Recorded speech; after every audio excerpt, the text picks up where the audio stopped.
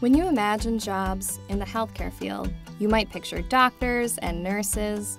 But while those clinical positions are essential to the healthcare ecosystem, many healthcare careers exist outside of the clinical realm. And Bethel University's healthcare endorsement can help bring those opportunities into view.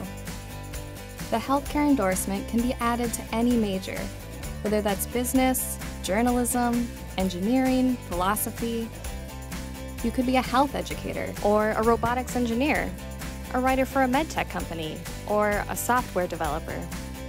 Adding this endorsement will allow you to take the skills and passions you're cultivating in your specific major and apply them to make a positive impact in the field of healthcare.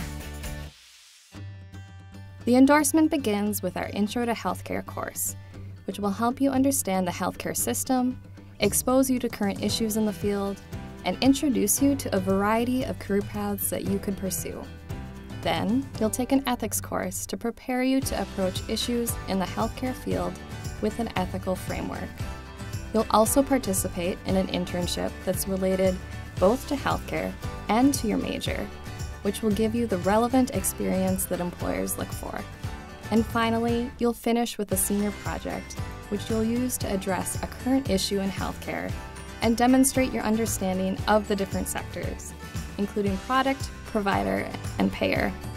When the time comes to apply for a full time job, you'll have your bachelor's degree in your chosen major, plus your healthcare endorsement. This will give you an advantage over other candidates who don't have that kind of distinction, so that you can land a job doing what you love and leaving an impact in a field that needs it most.